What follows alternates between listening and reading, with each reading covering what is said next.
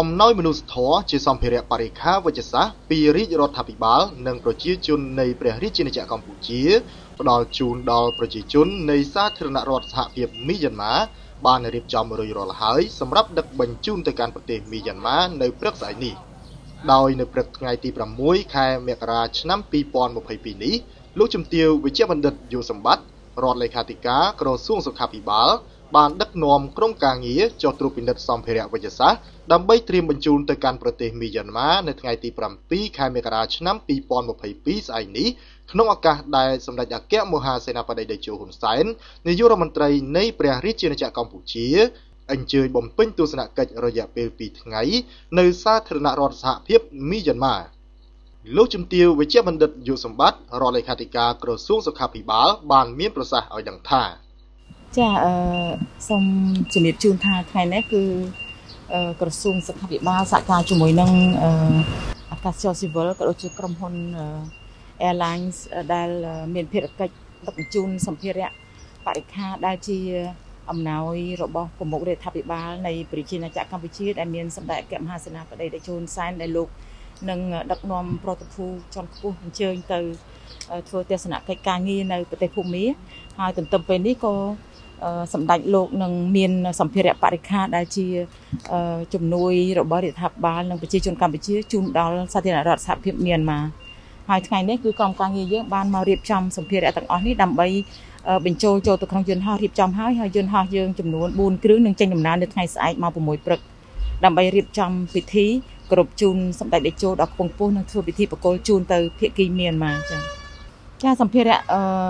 ក៏ដូចជាសម្ភារៈដែលយើងបកគលជូនទៅប្រទេសមីយ៉ាន់ម៉ាដោយហដងដែរយើងមានម៉ាស់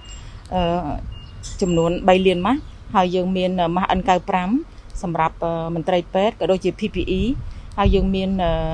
ម៉ាស៊ីនជំនួយដង្ហើមយើងមានម៉ាស៊ីនតាមដានចង្វាក់អ្នកជំងឺហើយយើងមានម៉ាស៊ីនផលិតអុកស៊ីហ្សែនស្វ័យប្រវត្តិដើម្បីបកគលជូនសម្ភារៈទាំងអស់នឹងជួយទៅដល់ការគ្រប់គ្រងនៃការរាតត្បាតជំងឺ Covid-19 នៅប្រទេសភូមាដែរដែលជាប្រទេសជិតខាងរបស់យើងហើយជាពិសេសឥឡូវនេះគឺប្រទេសកម្ពុជាធ្វើជាប្រធានអាស៊ាន ដែលមានសម្ដេចអគ្គមហាសេនាបតីលោកជាប្រមុខដូច្នេះហើយការដឹកនាំការងារក្នុងអាស៊ាននេះគឺថាមានភាពមមាញឹក ហើយការងារច្រើនណាស់ដូច្នេះហើយជាសម្ដានចិត្តដ៏ថ្លៃថ្លារបស់សម្ដេចតេជោហ៊ុនសែនដែលឆ្លៀតឱកាសសម្ដេចលោកអញ្ជើញទៅទស្សនកិច្ចការងារនៅប្រទេសភូមាលោកក៏ពំនាំនៅសម្ភារៈបរិខាដែលប្រទេសកម្ពុជាយើងចែករំលែកក្នុងនាមជាប្រទេសជិតខាងក៏ដូចជាបងប្អូនប្រទេសអាស៊ានចា៎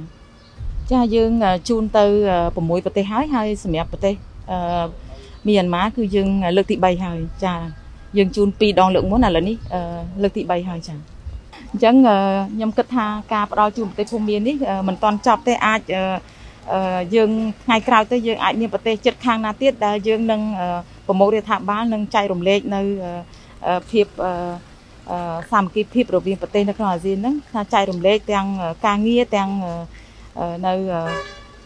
យុទ្ធសាស្ត្រនៃការទប់ស្កាត់នៃជំងឺ Covid-19 នេះទាំងសម្ភារៈទាំងបរិខា គូបញ្ជាក់ថាអំណោយជាសម្ភារៈបរិខាវិជ្ជសាស្ត្រពីរាជរដ្ឋាភិបាលនិងប្រជាជននៃព្រះរាជាណាចក្រកម្ពុជាផ្ដល់ជូនដល់ប្រជាជនសាធារណរដ្ឋសហភាពមីយ៉ាន់ម៉ានាពេលនេះរួមមានម៉ាស់ចំនួន3លានម៉ាស់ម៉ាស់ N95 ចំនួន2សែនម៉ាស់វ៉ែនតាការពារចំនួន1សែន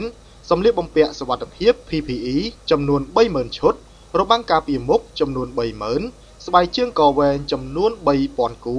ម៉ាស៊ីនជំនួយដល់ការដកដង្ហើមចំនួន50គ្រឿងម៉ាស៊ីនតាមដានសញ្ញាជីវិតចំនួន50គ្រឿងនិងម៉ាស៊ីនផលិតអុកស៊ីហ្សែនស្វ័យប្រវត្តិចំនួន50គ្រឿងផងដែរ។